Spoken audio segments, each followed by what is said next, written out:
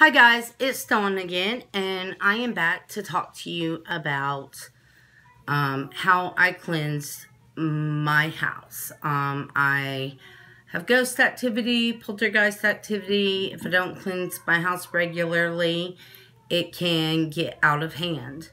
So, um, I have not been able to do it for the last two years. My health has just not allowed it.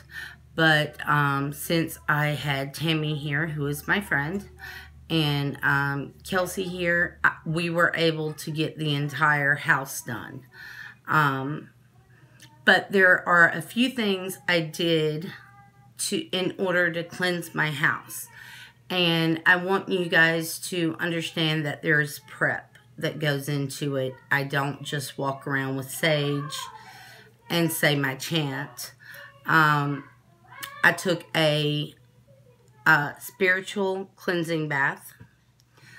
Um, I lit up the candles on my ancestor altar and asked uh, my ancestors for guidance and for help. Um, I lit my protection candle, my working candle. Um, I sprayed myself with my self-confidence spray. Um, and if you guys um, want the recipe for that, it is on some of my earlier videos. Um, I lit the candles on my main altar. And um, I spiritually prepared myself. Um, I was going to do it the day before. And I felt really drained and I knew there was no way I would be able to do it. Um, cleansing a house is spiritually, emotionally, physically draining. Um, you have to bubble up real hard, um, meaning you want to meditate a little bit um, and get that glow of protection um, around you, build your walls around you so nothing can get to you. Um, and still, it is very draining. Um, I also used, um, we saged, I saged myself and then I saged my uh, friend. We did not know we were going to need Kelsey at the time, but um, when we did need her, she had the sage, um, so she was good there. Um, I probably should have saged her, but at the point that I needed her, I was in a lot of physical pain and I could not, I just could not do anything else. It was that bad. Um, but I wanted to read you guys um, my personal chant if you cleanse your house, okay, make sure you're spiritually, physically, emotionally able and prepared to do it. If you're going to need help, make sure you have that help with you. Um, but I'm going to read you what I wrote to cleanse my house. And um, each person is different. This is a very personal experience, a very personal thing. Um, if you're a witch, you know you can do it. It is important that you have conviction uh, when you write out your chant and when you read it out. And there are times that what is written on this paper is not going to work and you have to intuitively work it. Um, there were times I had to come off the paper and intuitively grab what was there and pull it out. Um, psychically grab what was there and reel it out. Um, it's hard to explain unless you've done it. Um, uh, unless you work a lot with spirits.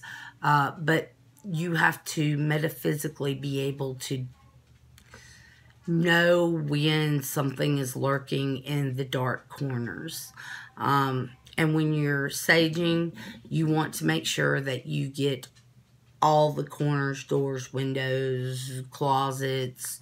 Uh, you want to make sure the sage gets into every corner of the room, um, especially the dark rooms uh, where they like to hide when they're running.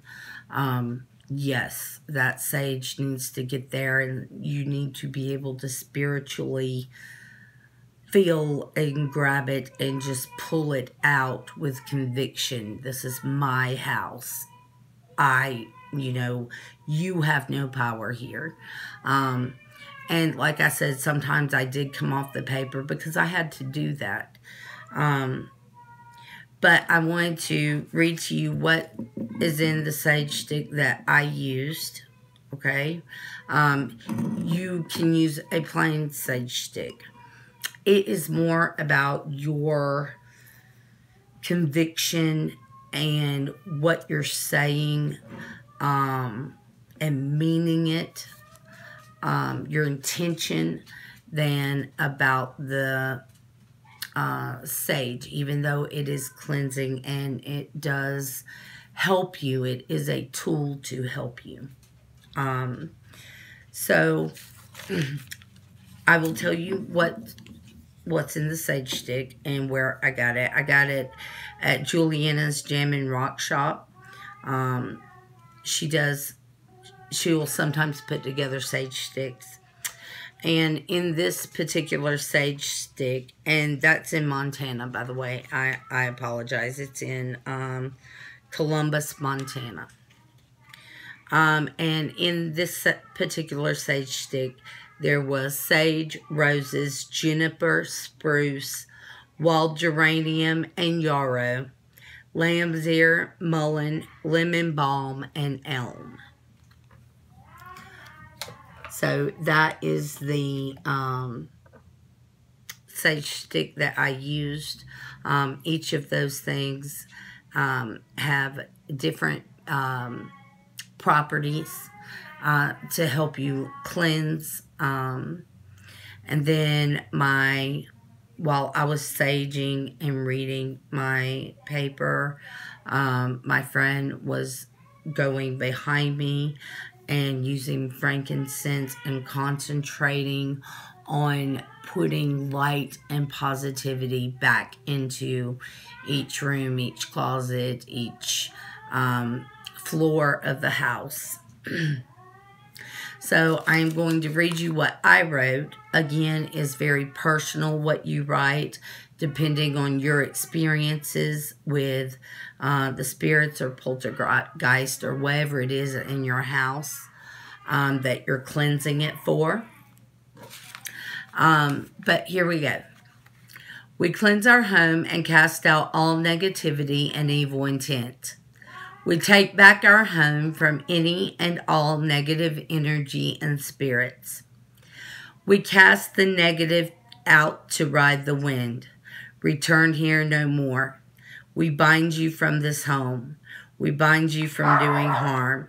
We ward this home against all darkness and negativity for all time. We move amongst our home, reclaiming every inch of space for positivity and light for our family and friends alone. Um, so that's what I read. I will be keeping this. It will be going in my book of shadows. So right now I'm just going to lay it right here.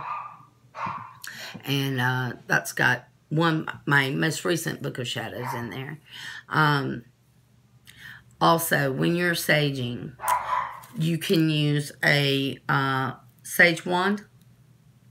Uh, you can use a feather to make sure you get into the corners. I did not use either of those. I used my breath. I wanted to breathe life and my intent um, into the sage throughout the house. And um, So that is the way we chose to do it. We chose to do it by blowing on the sage. It worked really well. It kept the sage lit, which sometimes, you know, you just can't keep the sage lit. Um, but blowing on it like that keeps it lit, keeps it going. You don't have to constantly stop and relight the sage to make sure it's smoking. Um, and you're also breathing life and intent into um, your your sage, the smoke, your words. Um, and I personally thought that was the best way to do it for me. Now, a lot of people do house cleansings different ways, and a lot of people um, use sage differently than the way I use it. Um, they don't blow on it. Like I said, they use wands, which I have, but chose not to use. Um, and some people will, you know, blow the sage for uh, their own reasons. I was just telling you my reasons for doing it. Um, so I wanted to go a, a little bit more in depth than just saying I cleansed my house. So if anybody else out there is wondering, should I do this? How should I do it? Um, you can also use anointing oils and salts on the window sills.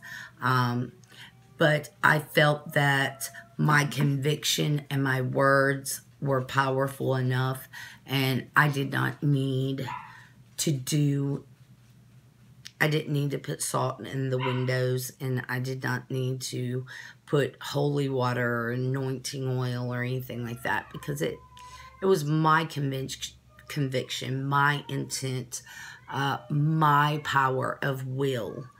Um, and so that is what I did to cleanse my house. Like I said, me, people do it differently.